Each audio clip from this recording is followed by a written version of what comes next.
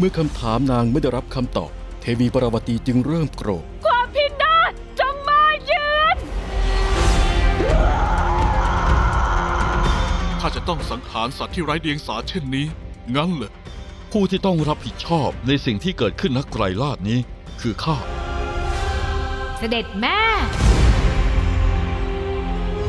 ตำนานอวตารมหาเทพนารายณ์วันนี้เวลาบ่ายโมง40 นาที Thank you.